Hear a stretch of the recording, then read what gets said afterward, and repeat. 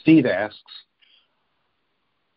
I'm thinking about writing my first book, and I've been told that I should write a proposal and shop it to several publishers before writing the book.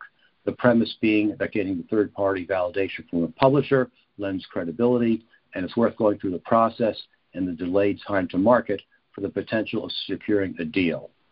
Um, what is your view of that? Well, frankly, I'm not sure that's the best way to go. Um, and here's why. Yes, if a publisher is interested, you know you could have a deal. That's great. But the steps that it takes to get to that point could be long and difficult, and you could be losing a lot of money in the process. Here's why. Uh, first of all, publishers don't look at manuscripts from unsolicited people like you and me. They want to vet proposals and queries before they even look at anything. So they rely on agents. So the agents are the first people who make the cut. So you're sending your proposal or your query letter to an agent, and they get hundreds of these proposals every day. You can go to their websites, they have forms to fill out, they have procedures that they want you to follow, and if you don't follow the procedures exactly, they throw you out because they have too much to choose from already, and they can only represent so many people. Uh, I'm not telling you anything you don't know because this is the way that every industry works for every job opening you've ever thought of or have been in a position to hire someone for. Uh, so it's no different in the literary business. So you're competing against hundreds of other people who are trying to get the attention of an agent. Now, let's say you do get the attention of the agent. They think it's a pretty good idea.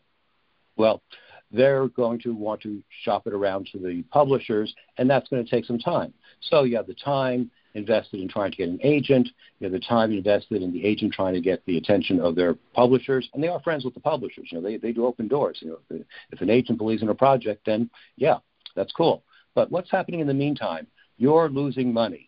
You're also losing enthusiasm for your project because you're saying no one is interested in this. Well, you know, during the summer, agents aren't really busy. You know, they they're taking the summer they're they're taking three day weekends right now. They're not working on Fridays. They're they're at the Hamptons. So uh, you might be beating yourself up saying no one's returning my my my proposal queries, uh, when in reality they're out at the Hamptons uh, drinking mai tais, so and not even thinking about you. So uh, I think it's important for people to write their books and see what happens and use their book as a marketing tool and take accountability for their own uh, progress. Uh, if at the same time you can send queries out to agents, and if someone bites, that's great. But the first thing they're going to ask is, how many words have you written? Is the book done?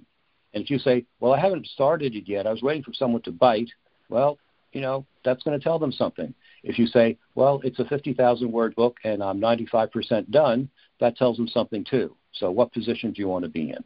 So, that's my answer.